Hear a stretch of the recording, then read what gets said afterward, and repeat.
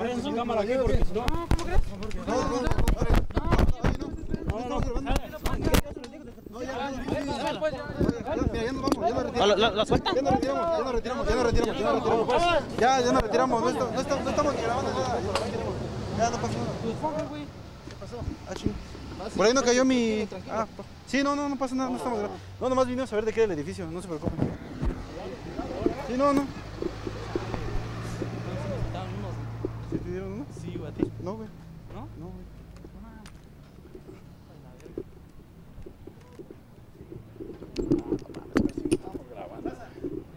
Sí, ni estábamos grabando, güey.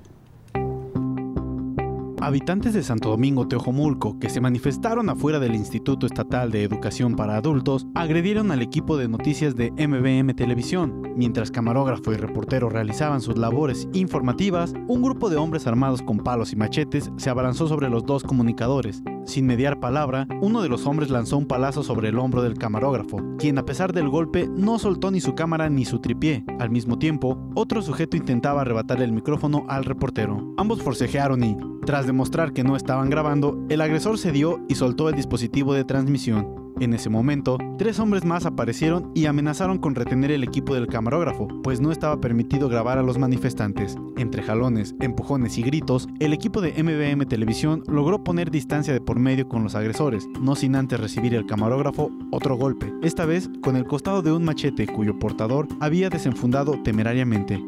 De la nada, llegó otra persona para pacificar la situación y contener al rijoso grupo de manifestantes provenientes de Santo Domingo Teojomulco, que insistía en que no se les podía grabar. Finalmente, los dos comunicadores lograron salir ilesos del tumulto. Cabe señalar que estos manifestantes pusieron en jaque a la capital del estado con bloqueos simultáneos en puntos estratégicos de la ciudad, el centro histórico y el cruce que forman las avenidas Violetas y Escuela Naval en la colonia Reforma registraron severas saturaciones viales a causa de la presencia de estas personas, quienes atravesaron camionetas en las calles para cortar la circulación. Además, se encontraban armados con palos, machetes, piedras y resorteras. Con imágenes de Pablo Cruz, informó para MBM Televisión Eric Ríos.